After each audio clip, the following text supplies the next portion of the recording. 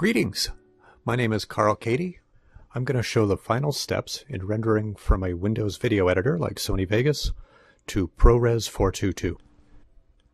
So we've already created a file called alonetogether.avs. If we look inside, we can see it's just a text file, and uh, well, you can see the instructions for what it contains.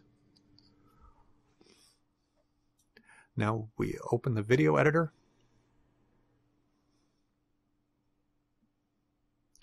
And we say uh, File, Render As.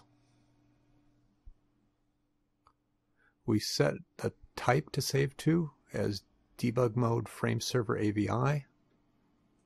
The template should be project default and we're going to save what's called the signpost file as alonetogether.temp.avi on my desktop.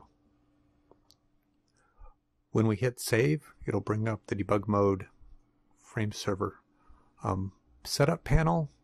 We see we say YUY2 video output audio. It writes the little signpost AVI file, and then when it's done, it'll pop up the panel again.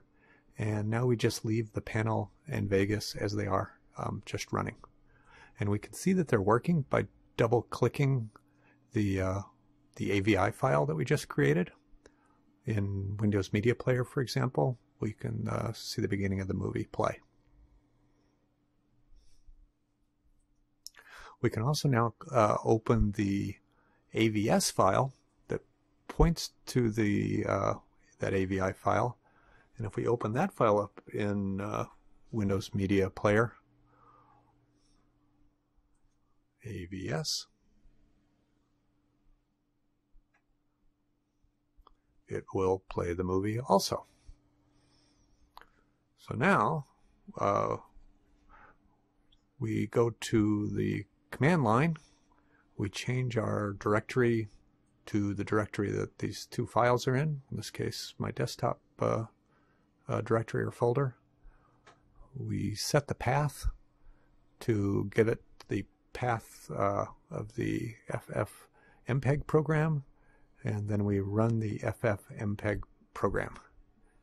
And it starts to do its work, taking frames from the Vegas video editor through the two frame servers and into ResPro 422. When it is done rendering, the command line program will stop. We can see the frame server. We can hit stop serving now if we want. Uh, we can also go over to the move file and double click it and we'll watch it play in QuickTime.